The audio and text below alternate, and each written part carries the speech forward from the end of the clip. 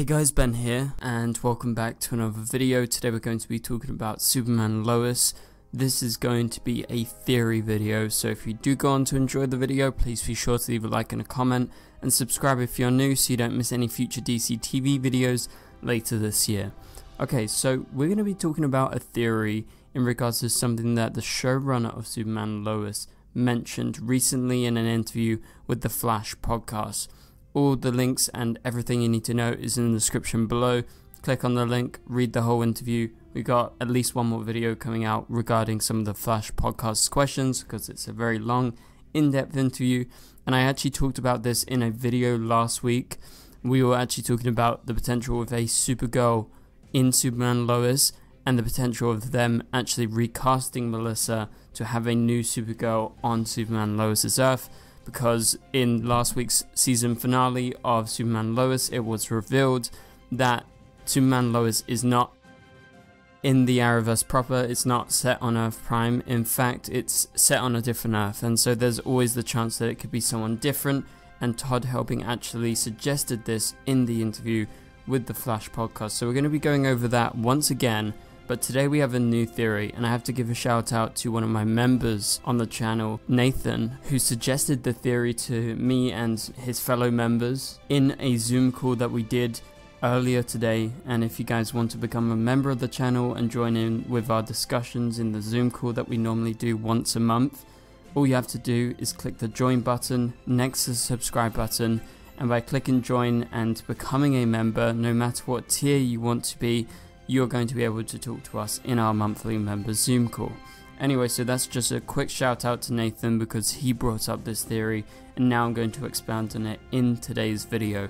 So, first things first, let's read out what the Flash podcast actually asked Todd Helbing and what Todd replied. Do you have an idea in your head as to what this world's Supergirl is like? Whether she would be played by Melissa Benoist or someone else, although we would obviously love to see Melissa, do you sort of know what and where she would be in this world? So Todd replies, yeah, it would not be the Supergirl from the Arrowverse. It would be our version, so we would invent a new backstory for her, the same way that we did with the Lucy Lane, General Lane, and John Diggle. They may be their doppelganger and they may look exactly the same, but it would be a completely different story. So he actually brings up the fact that you know, it could be Melissa if they were able to get Melissa on the show. Could be exactly the same, be a doppelganger, just like Lucy, General Lane, and Diggle.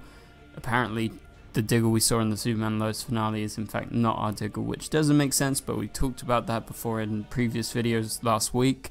However, let's continue on with this. So, there is always the chance that it's going to be played by someone new and that's because Todd says it would not be the Supergirl from the Arrowverse and it would be their version. They would invent a new backstory, so nothing that we've seen previously on Supergirl would matter about this version of Supergirl if Supergirl ever came to Superman Lois. And now this isn't a confirmation that Supergirl is going to be coming to Superman Lois or any version However, it's just a suggestion, and we can take that suggestion and think about the possibilities about if a version of Supergirl did show up, who would that be?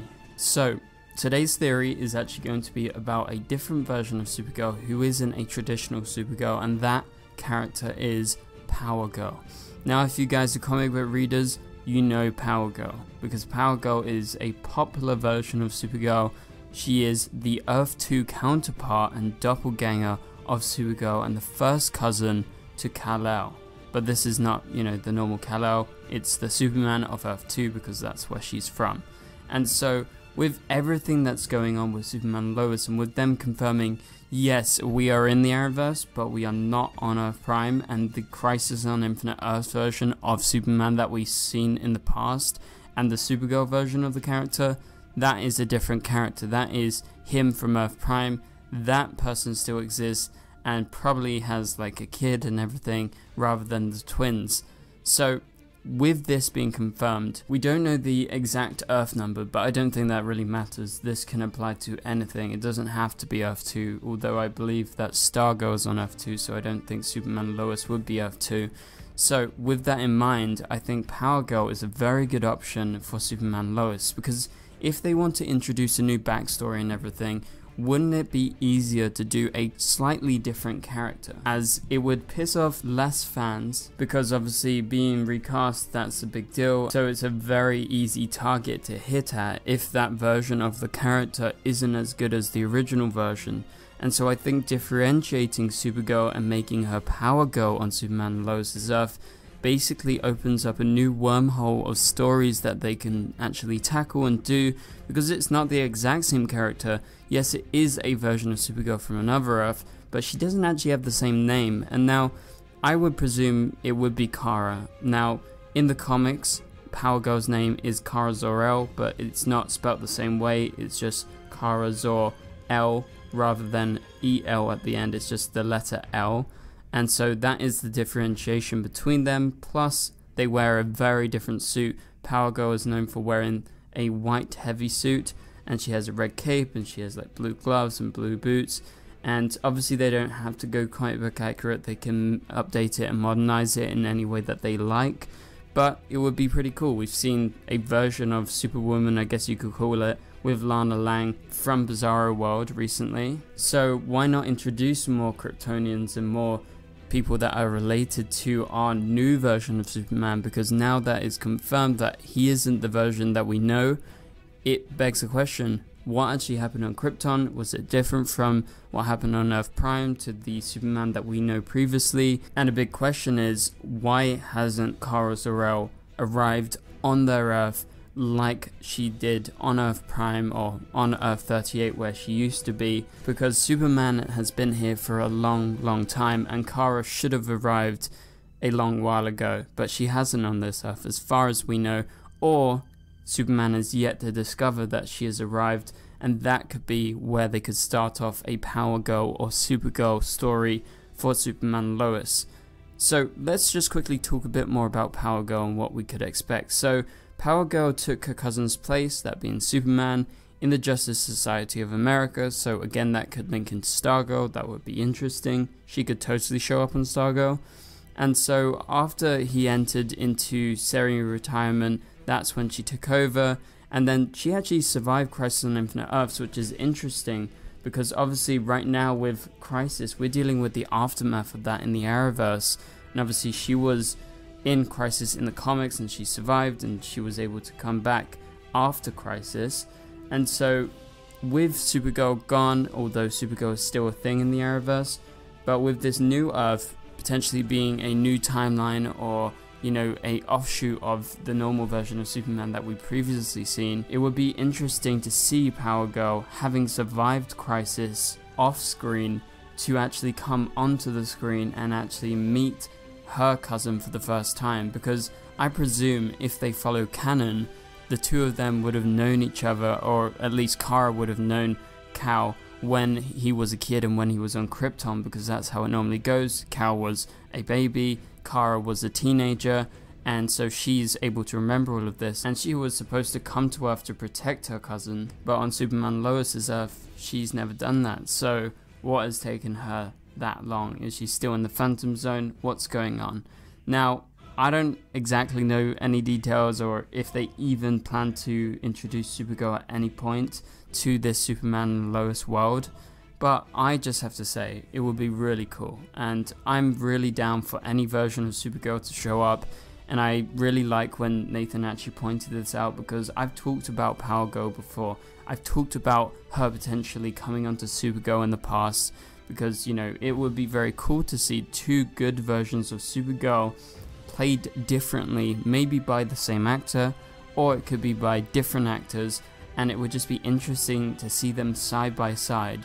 And now with Supergirl gone, with Melissa not doing Supergirl anymore, it would be interesting to see a new version of Supergirl side by side with her cousin because we've seen Melissa with Tyler before, but apparently that Superman is not the Superman that we currently have and that Supergirl is off in National City on Earth Prime, so it's completely separate as of right now, so that gives us a good wormhole to place a new Supergirl in and bring out a new story.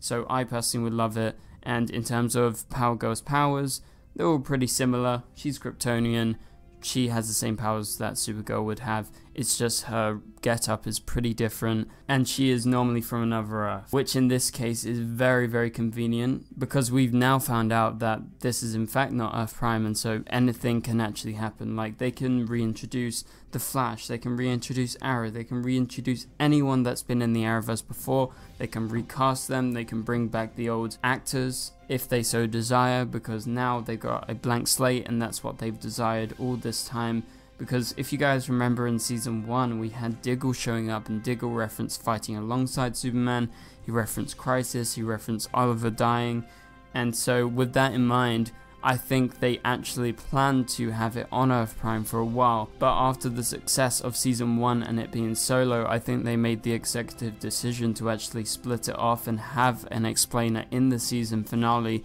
to finally answer fans' questions and although it's a controversial move, I think they're fine with the controversy as long as they get a blank slate so that they can do any story that they like. And I understand that desire, and I think as a fan of the Arrowverse, I'm actually pretty excited to see old characters show up in new forms, and that's why I'm buzzing to hear all of these theories about like a potential Supergirl and Superman Lois because I would really like to see it. But that about does it for today's video guys, thank you guys so much for watching. If you did enjoy the video, please be sure to leave a like and a comment, really helps out the channel.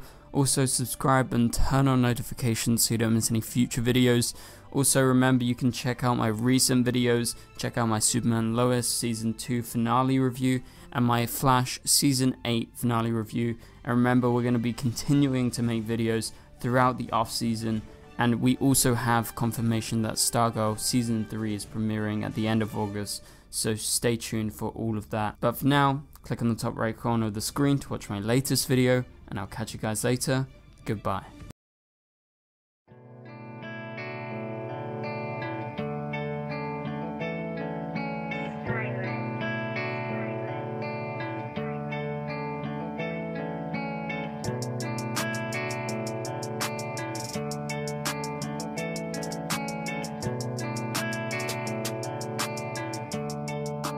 I see red.